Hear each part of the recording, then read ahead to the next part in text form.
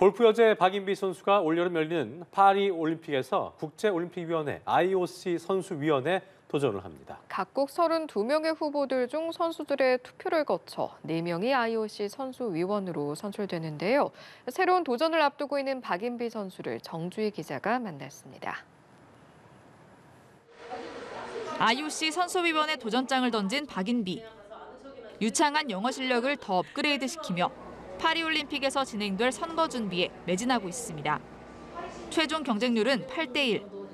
남녀 골프 최초로 커리어 골든 그랜드슬램을 달성한 박인비답게 새로운 도전 앞에서 품고 있는 마음은 두려움보다는 설렘과 기대감입니다.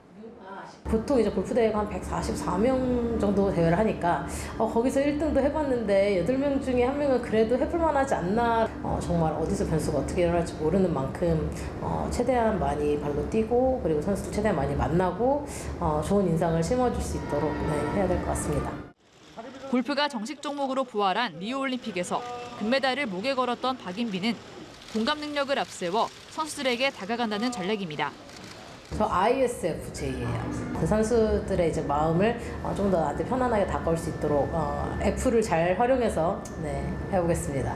리올림픽에서 이제, 이제 금메달을 땄었던 이제 골프 선수라는 라는 거를 이제 좀 잘 어필을 해야 될 것 같고 골프 선수가 아직 아예 선수연이 없다라는 부분도 잘 어필을 하면서 어, 내가 어, 처음으로 도전하는 거니까 많이 도와달라 뭐 그렇게 얘기해야 될 것 같아요.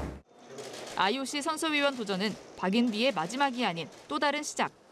제 2의 인생의 이제 시작이라고 보시면 될 것 같고요. 뭐 아니카 소렌스탐 같은 선수도 지금 뭐 어, IGF 회장을 맡으면서 이제 뭐 육아도 하면서 어, 그리고 지금 뭐 대회도 나가면서 여러 가지 일들을 이렇게 병행을 하고 계시고 어, 그런 분들도 이게 제가 롤모델로 이렇게 생각할 만한 어, 생각할 만한 그런 분일 것 같아요. 이제.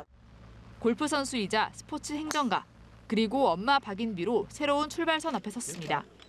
어, 대한민국을 대표하는 또 이런 그런 멋진 후보가 될 수 있도록 네, 열심히 할 테니까 어, 많은 관심과 또 응원 부탁드립니다. 연합뉴스 TV 정주입니다.